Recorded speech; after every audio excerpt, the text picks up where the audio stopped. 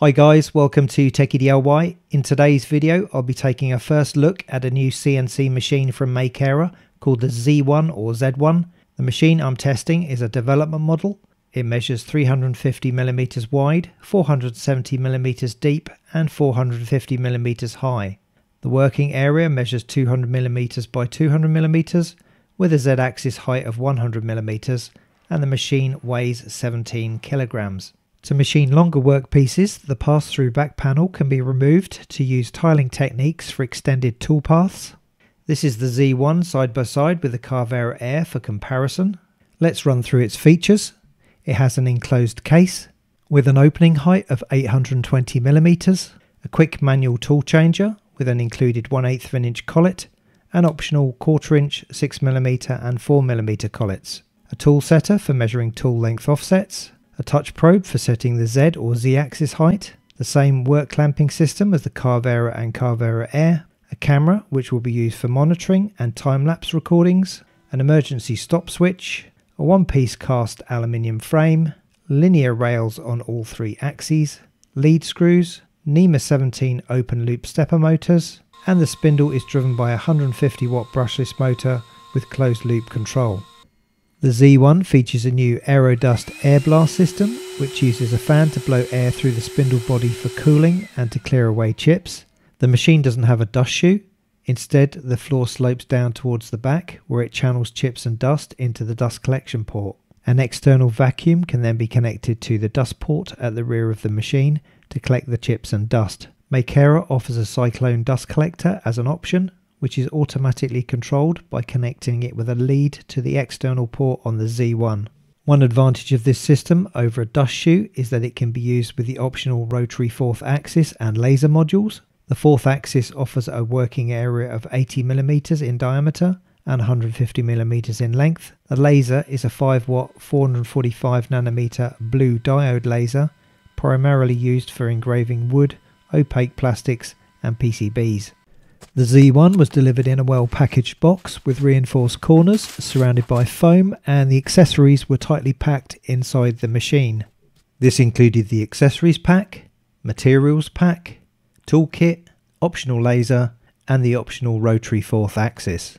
First we're going to mill some test pockets in aluminium. I've created a project in Fusion using four different tools. There are three toolpaths for each pocket an adaptive roughing operation, a horizontal floor finishing operation, and a contour wall finishing operation. The Z1 post processor is not yet available, so I've used the Carvera post processor and made a few modifications. Firstly, I've set the Aeroblast to be turned on and off with a coolant type of air through tool by adding in the M811 S100 and M812 G-code commands. Then I changed the coolant to be turned off after the spindle rather than before. Finally, I added a time delay or dwell so that the spindle can stabilize its speed before commencing operations. Selecting a coolant type of air through tool in the toolpath parameters enables the aeroblast during the operation. Starting with the 1 8 of an inch 12mm single flute end mill, the solid blue light indicates that the probe should be installed.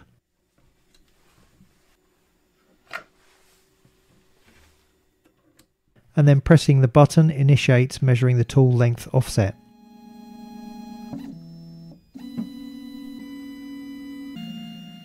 I've enabled scan margin so the probe draws the outline of the toolpath.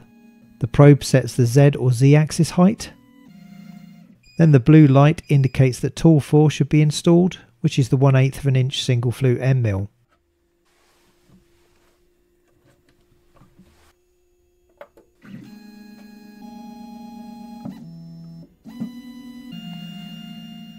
We begin with a 1 degree helical ramp into the material, then rough out the pocket using an adaptive toolpath.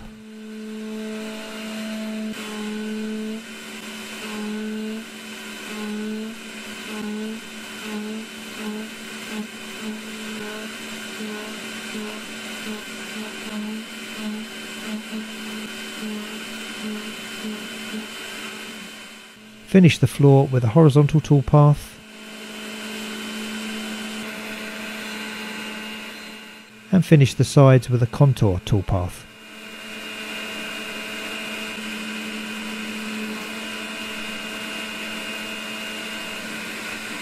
Next we switch to the 1 8 of an inch 15mm 3 flute end mill. Increasing the number of flutes to 3 allows us to increase the feed rate and cut the pocket more quickly.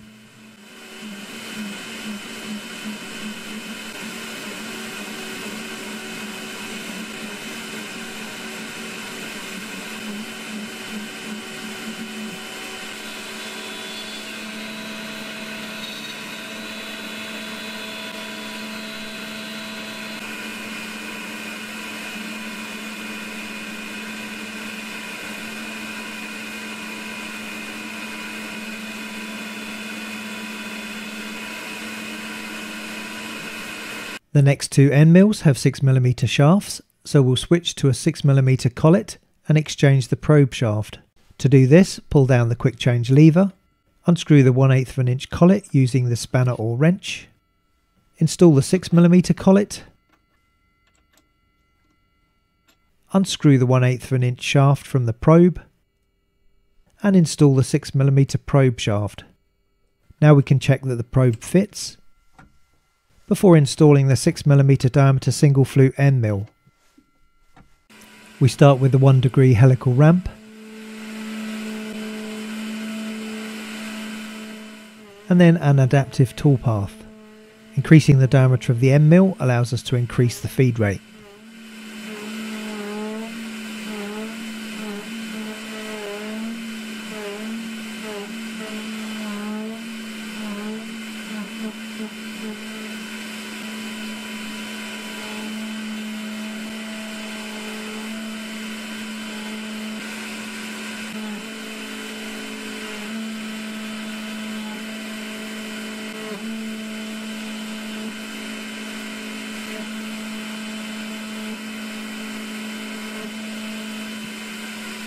Finally, we install the 5mm diameter 3 flute end mill.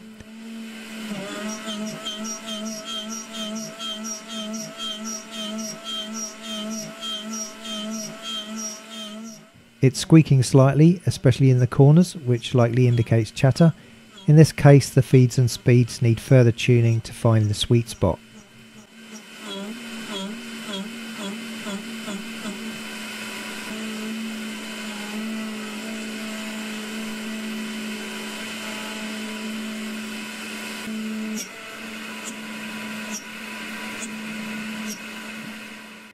Finish met expectations and all dimensions were within 0.05mm of the nominal 15mm. Let's also have a look inside the dust collector to see what it's collected.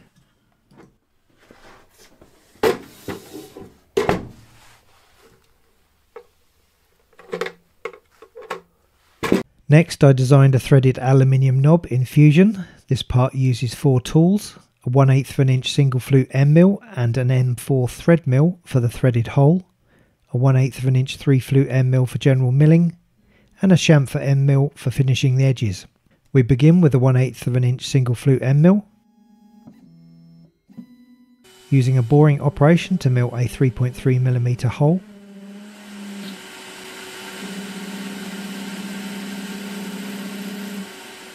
Then we switch to the M4 thread mill to cut the threads.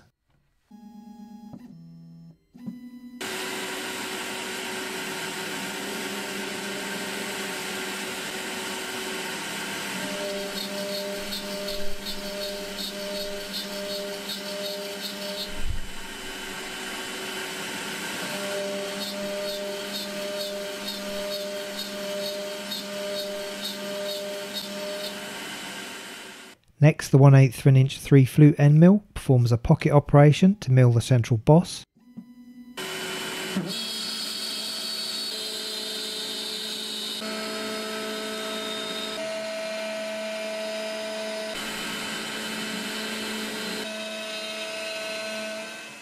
A contour operation finishes the edge of the boss, followed by another contour to cut the outer profile of the knob.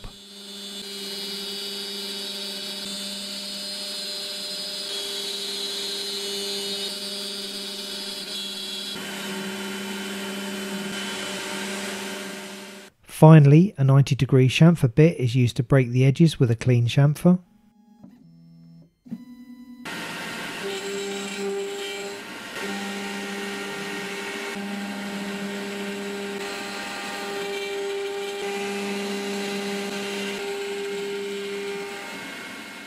Here's the result. Thread milling may seem complex, but it's actually quite straightforward and extremely useful. Next, let's test the laser module. We can use MakeraCAM to create the G-code. First, we set the material type and size. Then select Import Image.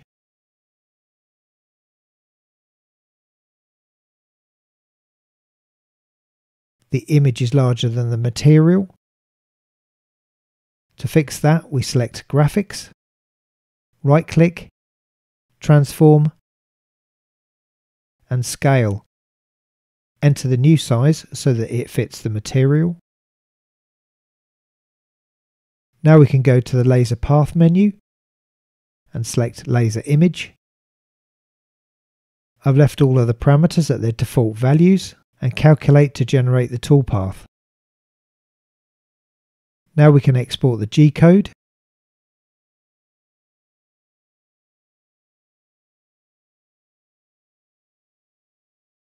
Give it a file name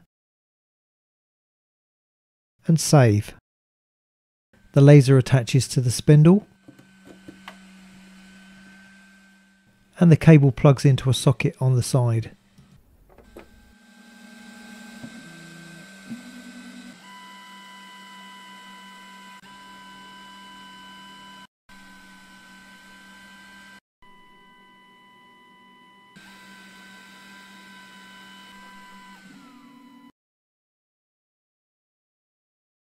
This was my first look at the Makera Z1. It's an excellent small desktop machine. It has very similar features to the Carvera Air, but with a smaller working area, which would suit model making, robotics, mechanical components, and PCBs. I'm happy with its ability to mill aluminium and the accuracy that I've been able to obtain. The spindle motor never seemed to lack power. The AeroDust system is very good at clearing chips, and overall I prefer the new dust collection system to the dust shoes used on the Carvera and Carvera Air. Makera will shortly release a new software platform, so I hope to cover that and the rotary fourth axis in the next video. Makera will initially release the Z1 with a Kickstarter campaign. For those unfamiliar with Kickstarter, it is a crowdfunding platform where backers pledge support in exchange for a reward, and it's not the same as buying from a store. Makera has a very good track record with two previous successful campaigns, but I would encourage you to do your own research.